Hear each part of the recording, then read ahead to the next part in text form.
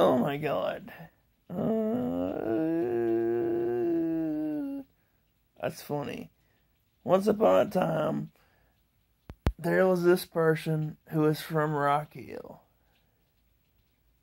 Her brother played for the Atlanta Falcons in the mythical town of Atlantis.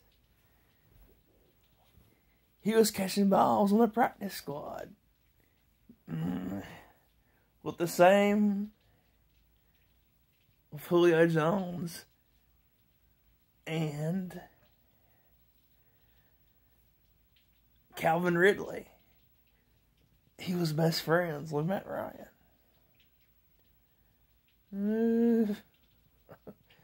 oh God. Once upon a time, he played professional baseball with the Florida Marlins.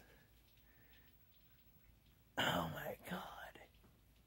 But injured and got injured in double A. Once upon a time, there was somebody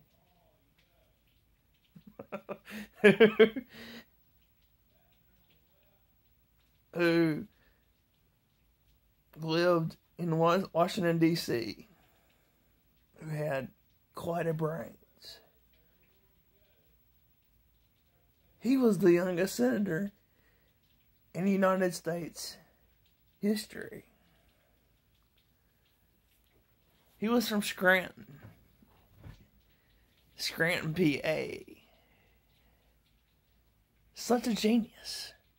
He could spell jobs. Now he's president. No one's gonna break up every trust and every every he's kicking ass like no other person.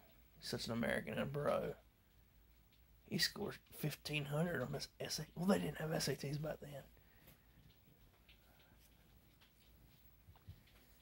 His name was Joseph Robinette Biden. That is partly why he is such a genius. I mean, when he was in school, every semester he made, he had to copy his handwriting off to somebody else's notebook. Once upon a time, there was somebody from mythological land Miami. But I can't think of anybody there. And finally, separating fact from fiction. This is called fact from fiction. Once upon a time,